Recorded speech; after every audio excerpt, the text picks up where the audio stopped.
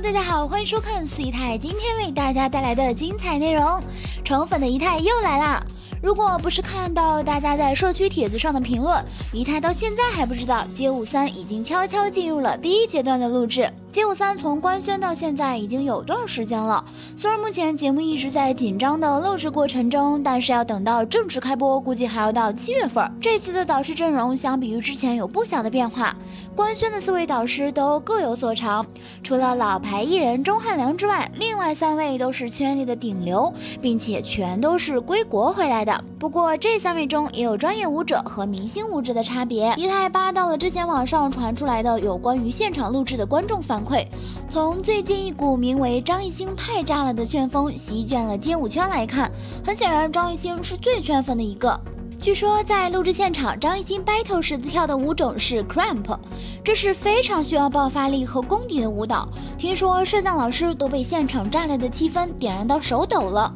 就连街舞界有名的舞者石头也发了朋友圈夸艺兴。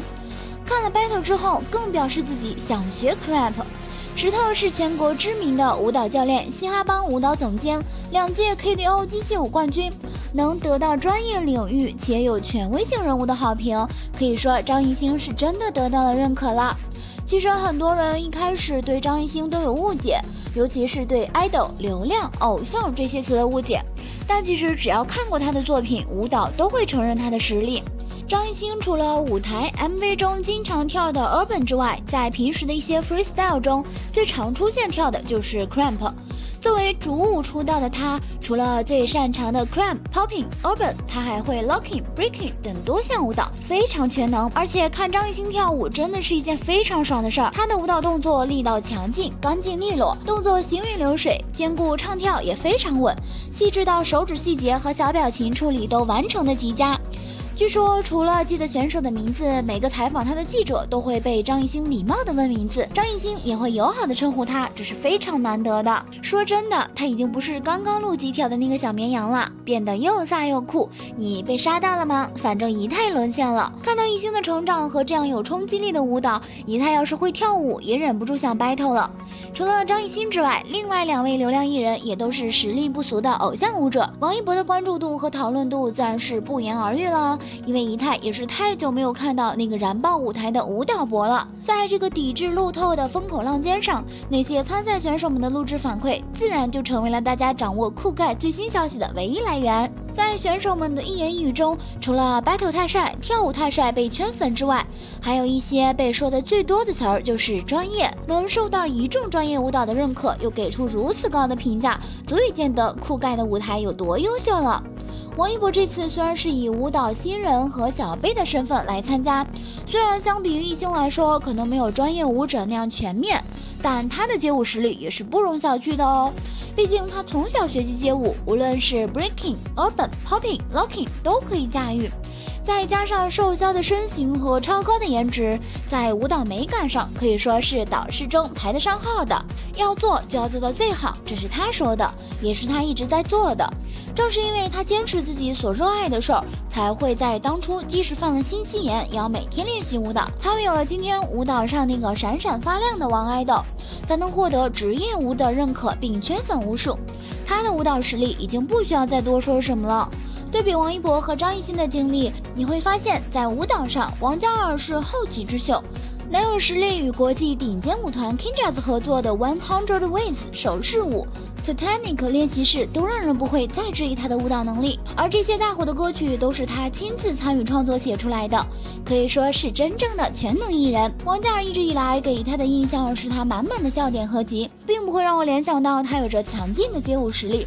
但没想到在另一档街舞竞技节目《热血街舞团》中，王嘉尔出任明星队长，偶像出身却展现了让专业舞者也纷纷夸奖的实力。合作舞台狙击舞蹈动作干净利落，卡点力度无可挑剔。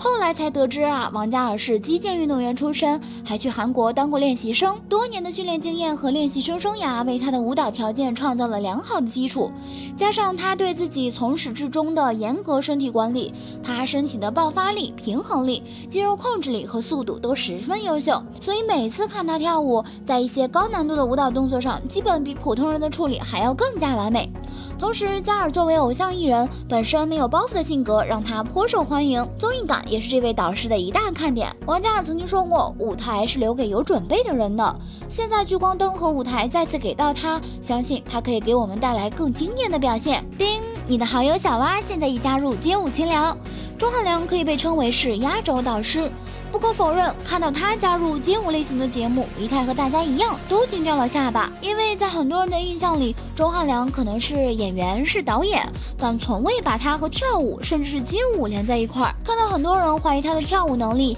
仪态觉得，且不说钟汉良是否有资格成为一名街舞导师。单看节目组的选择，我们有理由相信钟汉良是具备舞蹈能力的，或者说他的舞蹈能力不输于其他三位年轻的导师。作为一档有实力又有经验的节目，自然是不可能为了人气和流量去招一位根本不会跳舞的明星。更何况钟汉良并不是流量小生，这说明节目组邀请他来的目的就是想让他好好跳舞，传播跳舞精神的。仪态包括他的履历表，其实他早在十八岁的时候就已经是 TVB 一线舞蹈一员，这还是经历了长。长达一年的魔鬼训练才得到这个机会的。不仅如此，他一开始的跳舞经历十分艰难，从跑小演出，后来为梅艳芳、张国荣等巨星伴舞，再到一九九五年推出自己的首张专辑，慢慢打开自己的知名度。值得一提的是，他擅长的都是民族风以及芭蕾风，甚至是国风。在那个时代，分流行都是摇滚风，但他可以随时随地跳起芭蕾舞或者是民族舞。作为有颜值又有实力的小生，在那个年代能够做到这个地步，不顾当时年代人的眼光，已经非常有勇气和胆量了。当然，一定会有人问啦，其余几位九零后小生走的都是街舞风，像张艺兴的舞台控制能力很强，王嘉尔的舞蹈节奏感很好，而王一博则是蝎子舞出色。钟汉良这么多年都忙于演艺事业，这还能够跟得上他们的节奏吗？其实换个方向来讲，钟汉良也并非要走他们的路线，他完全可以继续走当初的民族风。也许街舞风和民族风碰撞在一起，会碰撞出别样的风格和火花呢。所以说，这档专业街舞类节目很有可能会因为钟汉良的到来而变得更加有魅力。从张艺兴 battle 炸翻全场，再到选手对王一博花痴，我简直佩服死了这群抹了蜜的街舞圈选手们。你们真的是去比赛的吗？难道不是去打着比赛的幌子去追星的吗？你们比赛归比赛，能不能不要花痴的这么明显呀？还特意发朋友圈勾引粉丝，简直太过分了。不过这可是前两季这就是街舞没有看到的名场面呢。一旦发现这些有超实力的偶像明星面对竞技，可以让一个圈子对另一个圈子的人产生新的看法和认可。街舞圈突然开始对偶像有了新定义。要知道，在此之前的很长一段时间，一些地下专业者对于“偶像”这个词儿有很多的贬义，总觉得偶像靠的就是脸蛋。当年刘德华就是因为长得太帅，所以总是被人忽略演技，一直到他扮丑获得自己梦寐以求的奖项，大家才认识到他也是实力派。一张好看的脸有好有坏。好在于它秀色可餐，能够引得起小姐姐们的花痴，但坏在于大家会过分关注对方的脸蛋，从而忽略其实力的强弱，这也是实力偶像们无可奈何的事情。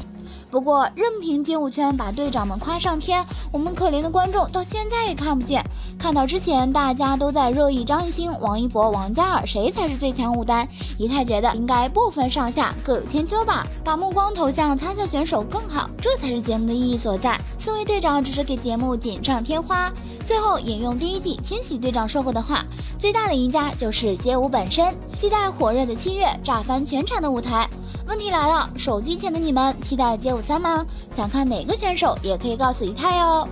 好啦，今天的视频呢就分享到这里啦。如果喜欢四姨太的视频，就请多多点和关注，四姨太每天都会更新精彩娱乐资讯哦。